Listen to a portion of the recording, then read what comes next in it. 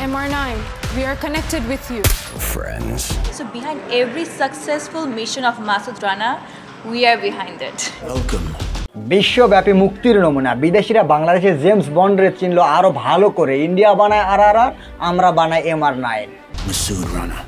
আপনি Bangladeshi I just hope that we can find out what it is before it's too late. You get compromised. Masud Rana M R nine রূপে dashing ABM Suman ঠিক এই সময়ে বাংলাদেশি অভিনেতাদের মধ্যে মাসুদ রানা চরিত্রটিকে ফুটিয়ে তুলতে পারার মতো শুধুমাত্র একজনই আছেন। তিনি হলেন এবিএম সুমন। এইভাবে বাংলাদেশে গিয়ে যাক ফার্স্ট টাইম এই টাইপের মুভি এই মুভিটার মধ্যে এত অ্যাকশন ছিল তার জন্য আমার কাছে মেইনলি মুভিটা ভালো লাগছে।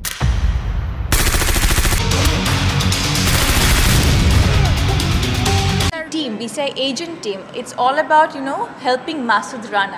মাসুদ রানা চরিত্রটি যেমন সাহসী ঠিক তেমনি সেটি হতে হবে নির্ভীক। শারীরিক গঠনটা শক্তপোক্ত না হলে দেখতে একদমই বেমানান লাগবে। আর এই চরিত্রটির জন্য থাকতে হবে আর্মস ক্যারি করার মতো জ্ঞান।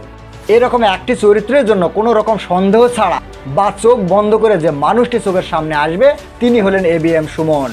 অন্যান্য চরিত্রে খুব একটা দারুণ না লাগলেও অ্যাকশন চরিত্রের ক্ষেত্রে তিনি শতভাগ perfect M R nine do or die ছবিটিতে তিনি ছিলেন অসাধারণ। লুক এক্সপ্রেশন কস্টিউম এবং অ্যাকশনে তিনি দারুণ করেছেন। যেমন হ্যান্ডসাম লাগছিল, ঠিক তেমনি একজন স্পাই হিসাবেও ছিলেন চৌকর। প্রতিটি সিকোয়েন্স পারফরমেন্স ভালো ছিল। এর থেকে বোঝা যায়, মাসুদ রানার জন্য সুমনের বিকল্প এই মুহূর্তে কেউই নেই।